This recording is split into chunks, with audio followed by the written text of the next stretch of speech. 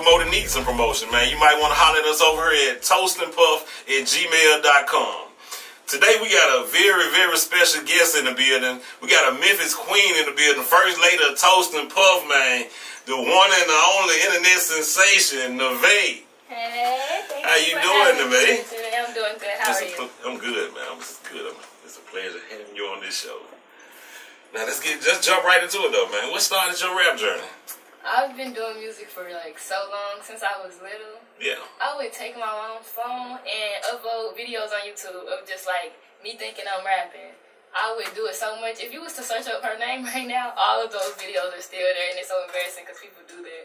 My first ever music name that I came up with was Shunky on the Beat Star. Beat Star Y. I made no beats at all, but it's always been there because like I love music. I've always been passionate about it. Man, that's good though. That sound like it ever since a youth. what style of music do you prefer making? when it comes to my music, Yeah. it is not like one thing. Can nobody just think of a more Neve and think of one music style because I do so many different genres. Mhm. I can't really just put myself in a box and stick to one thing because there's so many things to try. And I want to say I've done this and I've done that. Like I want to be around any crowd and have fan bases in every single genre of music there is because like why not? You're a very experimental person. Yeah. what was the first song you ever wrote, if you can remember, and how did it turn out? The first song I've ever written myself did not turn out. it turned out how you would expect a child writing a song would. I was heavily influenced by Cardi B. I Mhm. really just loved her music. I liked her outfits and stuff. Her song that she made called Money, I Mhm. remixed it. That was the first song I ever wrote myself and tried to record myself, and it was a hot mess.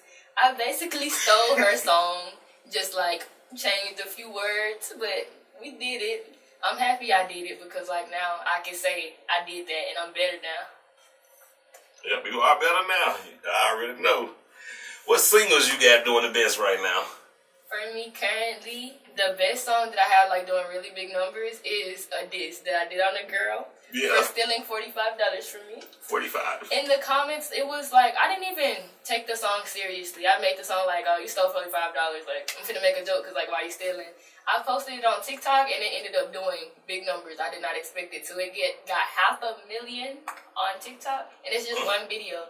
And I was like, okay, let me see what I can do with this. I kept posting more videos, got half a million again, and just kept growing. Once I actually dropped the song, it generated like 70,000 streams just on SoundCloud itself, not even including like all the other platforms. So I was really proud of myself for that. Just from a song I didn't even take seriously. I recorded it in 10 minutes, if that. Mm, 10 minutes and, and it blew up like that. That's pretty good though. Which rapper, song, or situation influenced you to create music? Really? Just like, I've always lived in a music listening household. Like, we're cleaning up, it's music playing. People mad, it's music playing. It's always music around me. So, like, as I'm growing up, I'm like, okay, I see everybody use music as like a coping mechanism. So it's just like, okay, I want to be able to heal people when they're upset. I want them to play my music while they're cleaning up, while they're doing this. And as I started to like get older and just actually take it seriously, I started to like get attention towards the underground scene. Mhm. So right now, I'm heavily influenced by artists like Rich Amiri, Ken Carson, and stuff like that. I like artists like that as of right now. But growing up, like starting my career, it wasn't really a person. It was just like seeing music around me every day. Oh, yeah. What's up? you got any concerts or shows, anything coming up soon? I actually do, and I'm really excited about these because, like, I have a show in Miami in December, and that has all the artists, like some of the artists I just named, the Rich Amiri, and all the people. Like, it's a big show, and I'm really excited about it because I've never performed in front of a big group of people that actually wanted me to be there. Yeah. They asked me to come on, and it's like, ah, people actually care to see me. I'm really excited about that. Man, I'm excited for you. That's good. Who is a rapper that you would like to get a feature from or go on a tour with? Currently as of right now, Yeah. I really, really, really, really want a feature from Lazer Dim 700. He's not really known here, but like in the music world that I'm in, he's like the ideal person to have a feature with for me right now. I really want that feature. In the future, hopefully I can work with some of the bigger artists like that I'm compared to, like BKTheRula. I hate the comparisons. I hope that does not affect working together in the future, but I would really want to work with her also. Well, that was good. That was good. I hope it happened though. And right now we're gonna go into a commercial break. We're gonna go into your song called Geek.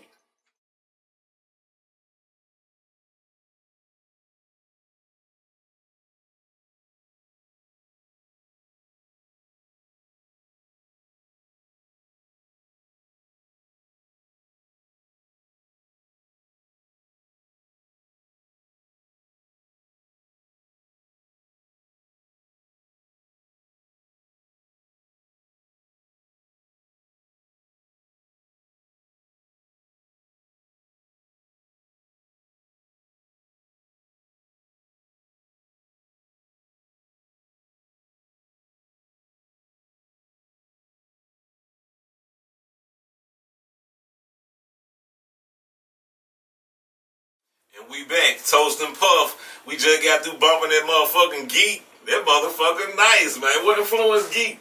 When I recorded that song, I was just like, that was in the middle of me having like a break from recording music. That was the first song I recorded after taking like a week break. Yeah. So, you know, like that first song is not always like, eh.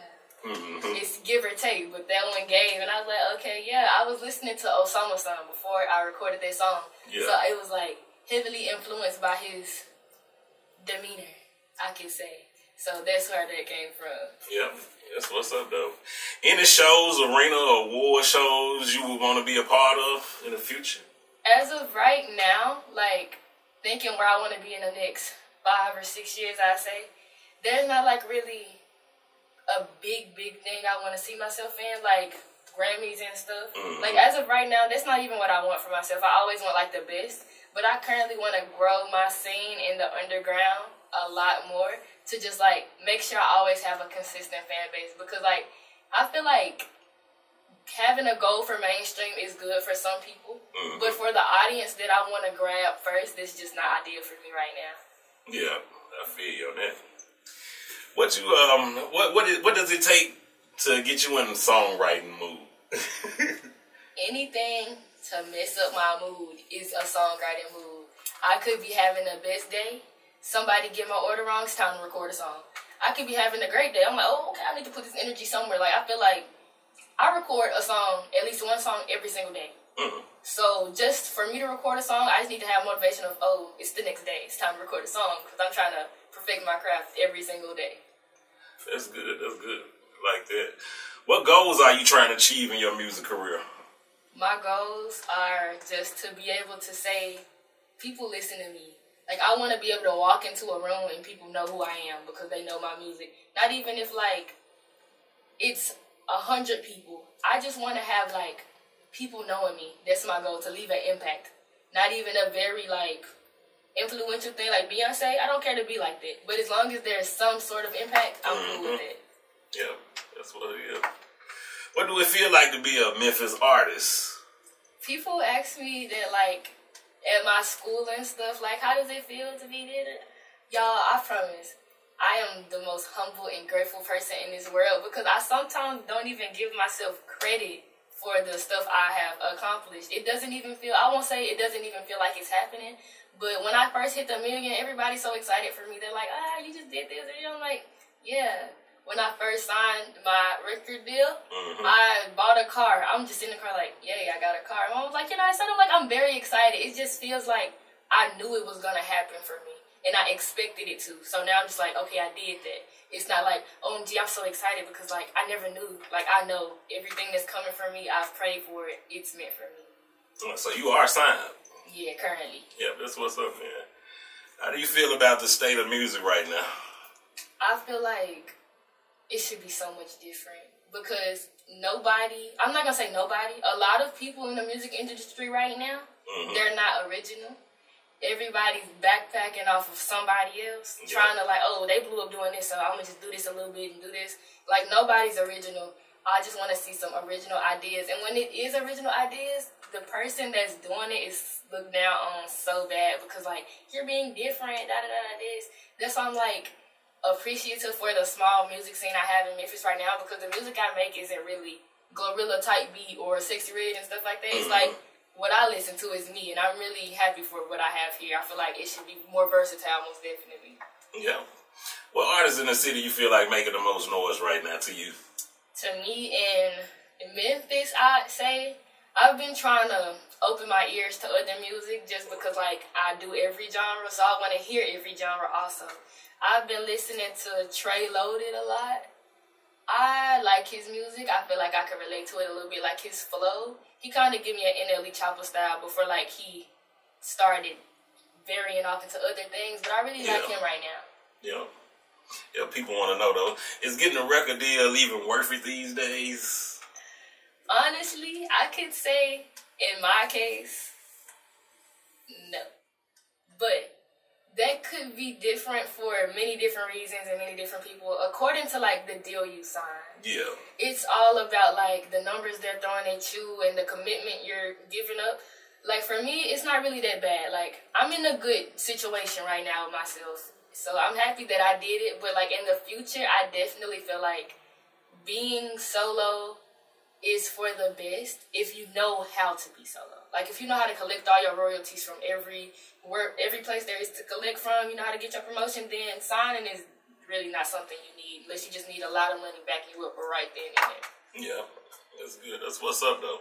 Man, right now we're gonna go into a break right now. We're gonna take this break, we're gonna go into this song.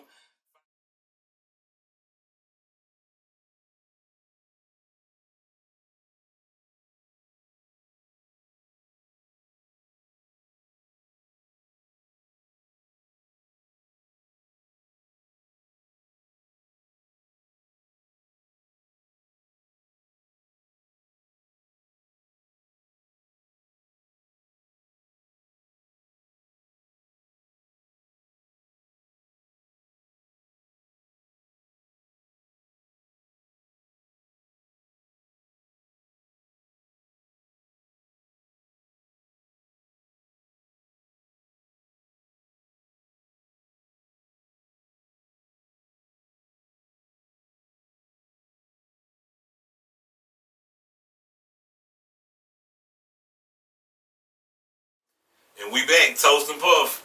This song five minutes, that motherfucker nice, Nevaeh. Thank you. What, what what influenced five minutes? In that song, I was on a stream with my friend Jakester. We were doing a song wars. I was hosting it at first because like I was trying to expand, but it was boring hosting. Like I just hate sitting there listening to other people. I was like, y'all let me hop in this. I was trying to record FL when I worked. Hmm. By the time it started working, I had five minutes left to send that song in and record it. I recorded this song in five minutes. That's why I named it that. And it ended up being a really good song, and people was liking it. I was like, okay, cool. That's where they came from. Man, she telling me that's why I'm writing with that pen, getting it done in five minutes flat. Don't play with it in a vein. Man, now today we got to go do this. This is the Q and A, the most intriguing, but it's the coolest part of the show. Are you ready? I'm ready. Don't be mad at me. I didn't write this. Let's go. Question number one: Would you tell your dad if your mom was cheating on him? In my head, my mom is the most important parent. So if mama was cheating, your secret's safe with me. I'm not snitching. Now, other way around, daddy getting, getting told on. But that way, no, I'm not snitching on my mom. You, that's, that's, you about right though. If you, if you say, would you tell your dad if your mom was cheating on him? Man, I, I'm trying to see. I, I, I might, I might not, I might not. I don't think I'd tell my dad because shit, I um, snitched on my mom to my dad, and I got the worst ass whooping of my life. So I'm not going through that shit again. so that's a no. Question two: If your parents put you out and you got a thousand dollars, what would you do? With that thousand dollars, I am. See, in my predicament, my mama don't need to put me out, and I got a thousand dollars. I know that lady whole information. I will be getting an apartment where she live at under that name of hers with that thousand dollars, and I'm gonna be straight. I'm gonna be back in that house before it's time to pay rent again, so I ain't gotta worry about all that. We just thinking about for now because, like, why would you do that? I'm trying to tell you. Well, yeah, I'm gonna tell you one thing. Is I ain't got no answer for that. I like the way she put it, but I'm telling you, you better not put Nevaeh out. You put Nevaeh ass out, your ass is in trouble, mom. Question number three: If your friend area stink and you in public, do you tell her? Yes, I tell them. I'm gonna be like as cool about it as possible. But like, if you call myself, if I'm your friend and you're my friend, if you stink, I'm gonna tell you. Yeah. And I expect the same thing. People have bad days. I'm not gonna walk around down the street having my friend stink. Then somebody else have to tell you. Then your feelings gonna be hurt. Yeah. So I'm gonna let you know. So don't even want to be my friend if you got problems and you scared people be honest. Cause I'm gonna be honest all the time. You sure ain't one like I'm gonna do the same, goddamn it.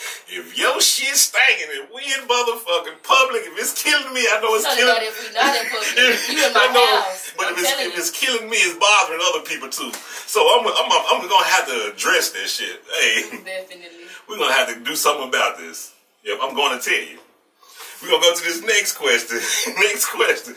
My cousin lying like she's still in college and living in her car. You think she should go back home? Cousin, what you doing? Yeah. Um, yes. I feel like you ain't gotta please nobody that bad to be living in your car lying like you living a life in college. Cousin, you need to come home. You need to come home because like you be doing so much better. Go back with your parents, get back on your feet. Cause what you living in a car for? Like, Yeah. I just feel like that's a no on many aspects. Man, I'm for real. I like that. I like Neve. Neve think like me, goddamn it. She, we think alike, so she making my job very easy today, goddamn it. But, cuz, if you living in the car, Get out that car. get your ass out that motherfucking car, kick your own self in the ass, and take your ass back home and tell mama I'm sorry, goddamn it. Question, next question. My girlfriend take her mom car to come and see me. How do I convince her to stop? What? You, we gonna reverse it. We don't gotta reverse it. Alright. Um, I'm not because like you want to see me, come see me. I want to see you because if I'm not seeing you, then you're not my girlfriend, you're not my boyfriend, you're not nothing. So you better be finding some type of transportation to get to me, or there is no me and you. Like what? Like I say, that's, that sounds like a woman. I, you cannot go wrong with that, man. Keep continuing still in that goddamn car to make this motherfucking relationship work. You don't get that car, or you don't get your ass on the bus. This relationship is going Not up in gonna motherfucking smoke. Last question of the day. My friend, boyfriend cheating on her. What's a good way to tell her? I'm gonna tell her if it's no, you can never just like the friend boyfriends never just cheat. They always hurt your feelings here, then answer the phone there, location off here. So you're gonna know, and once it happens, she's gonna let you know, friend, you're dumb. You knew this boy was cheating on you, so don't come crying to me because we, we you see what's going on. Be there for you to cry your shoulder. You can cry on my shoulder, but like you know what's going on. I'm gonna tell you just like that. I'm not sugarcoating nothing because like what is there to sugarcoat? It's a man. Get another one. It's many out here. Yeah, yeah, yeah. With, with, with that being said, I like Nevaeh's answer, but I do not motherfucking agree with Nevaeh this time. I am not snitching on it, man. You got to catch that motherfucker yourself. You need to, I don't want you to break up with no mother because of some shit I told you, goddamn I'll oh, see, like, if it's right there in my face, like, if Yeah, it's I know. I know. I know I'm definitely snitching. I'm gonna take a picture and I'm gonna send it. I'm not like that Yeah. because, like, I would hate for to watch my friend be dumb. Because now every time I'm sitting in your face, I'm like, I'm disgusted, low key, because you see this, Mm-hmm. and I hate when people ignore things that's right in their face. I hate that so much. Then when you put then when you look at it like this, say you tell your friend, man, I just caught your nigga cheating on you with my friend. And you tell your friend that and two days later you see her and him back together loving harder than they ever loved before. If she getting cheated on again, then she just can keep getting cheated on. Cause I tried. I tried one time. I won't try again. Who? Cause who am I? I'm not finna save your relationship. You want to get cheated on? You do that. I tried once. That's what's up, man. I had a good time with you, Nevaeh. Say I'm happy to be here. Had a good, good time, man. Is there anything you want the world to know about Nevaeh? It's your time to shine right now. Get it all If off you your chest. See this now? No, I'm coming. I'm gonna be the next up. You might not know who I am right now, clicking on the YouTube, but you gonna know later on in life. Like I'm coming. All you gotta say, I'm coming. I'm coming. Yes, sir. You heard it from Nevaeh. And with that being said, we're going to go into this one take.